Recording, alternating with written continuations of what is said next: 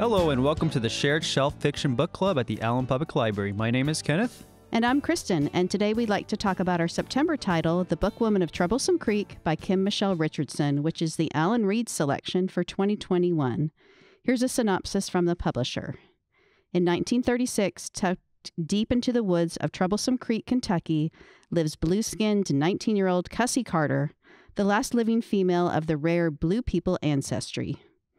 The lonely young Appalachian woman joins the historical Packhorse Library Project of Kentucky and becomes a librarian, riding across slippery creek beds and up treacherous mountains on her faithful mule to deliver books and other reading materials to the impoverished hill people of eastern Kentucky. Along her dangerous route, Cussy, known to the mountain folk as Bluet, confronts those suspicious of her blue skin and the government's new book program.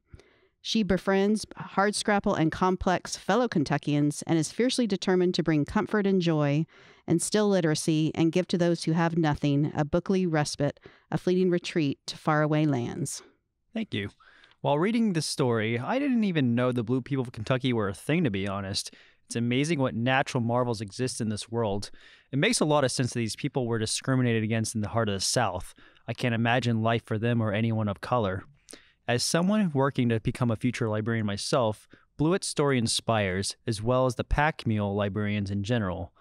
The idea of traveling across the region delivering books to your patrons on a mule or horse makes our library work just seem a little cozy in comparison. I was wondering just how effective that antidote that Doc conjured would be for Bluet. Like her Paul said, it seemed to be more of a vanity than a cure, temporarily turning her skin fair with some nasty side effects. I was wondering how effective that would be later on and if she would recover from that. It wasn't too clear on that. Yeah, I agree with it was kind of vague about that. So What about your thoughts, Kristin? Um, I also enjoyed Cussy Mary's story very much. I liked how strong and feisty she is and how she persists no matter what life or ignorant people try to throw at her. In fact, it's really hard to believe that she's only 19 in this story. And for me, also as a librarian, the most interesting parts of her story were her adventures as a packhorse librarian, delivering much needed materials to her patrons in hard to reach rural areas that were often very dangerous to access.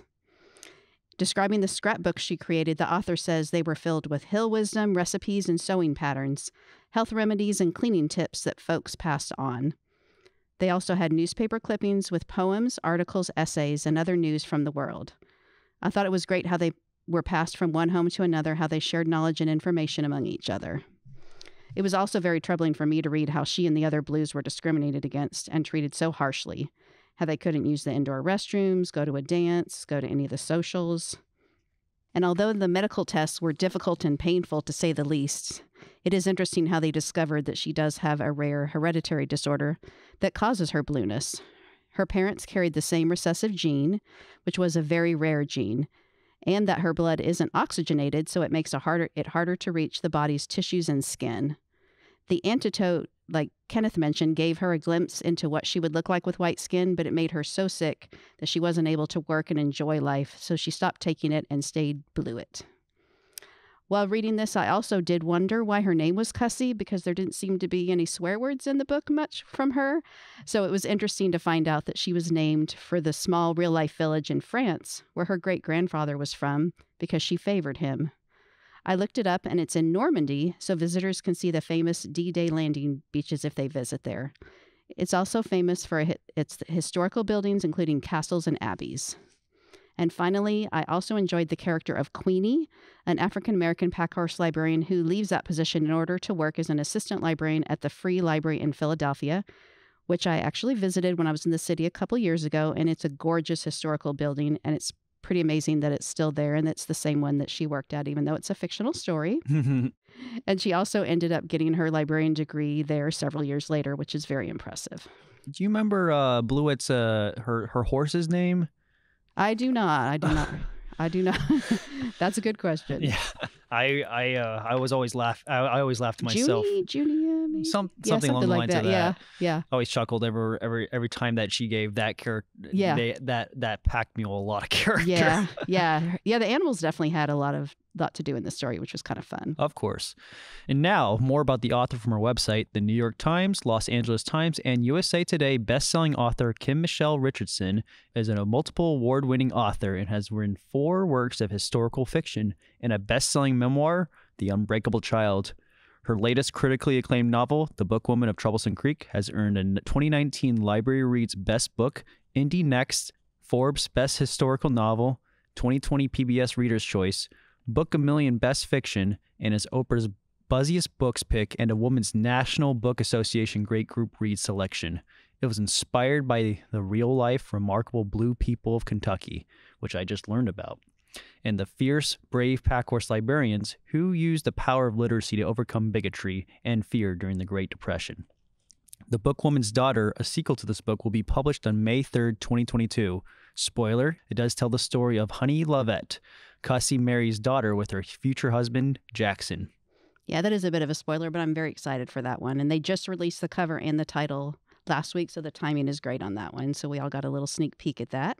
Um, if you're interested in the Packhorse Librarians, there are a lot of great online resources for learning more. On one site, AppalachianHistory.net states the Packhorse Library Project was considered very successful and one of the most unusual library services ever offered in this country.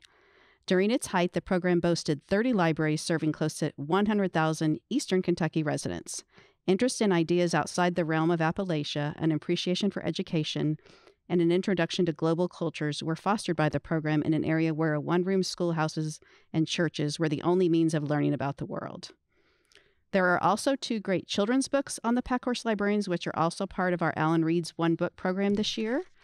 Uh, the first is called Down Cut Shin Creek, The Packhorse Librarians of Kentucky, which is a junior nonfiction book by Kathi Appelt, and That Bookwoman by Heather Henson, which is a picture book featuring illustrations by Caldecott award winning illustrator David Small. I was fortunate enough to meet David Small back in 2009 when he visited the Allen Public Library with his wife, author Sarah Stewart, to discuss their award winning title, The Gardener, as part of that year's Allen Reads program. So it's kind of fortuitous that we're doing another book that he illustrated. Before we go, I'd like to tell you about our next read service. To participate, all you need to do is fill out a short form to get three to five titles from our personalized suggestion service right in your inbox. Check it out today on the website. And let's meet again in November to discuss our next title, The Midnight Library by Matt Haig. We'd like to leave you today with a question What is your favorite fall read? Please leave your choice in the comments below. Thank you for listening today. Thank you so much.